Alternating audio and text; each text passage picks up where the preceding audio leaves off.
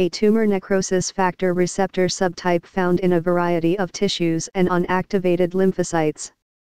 It has specificity for FAS ligand and plays a role in regulation of peripheral immune responses and apoptosis. Multiple isoforms of the protein exist due to multiple alternative splicing the activated receptor signals via a conserved death domain that associates with specific TNF receptor associated factors in the cytoplasm.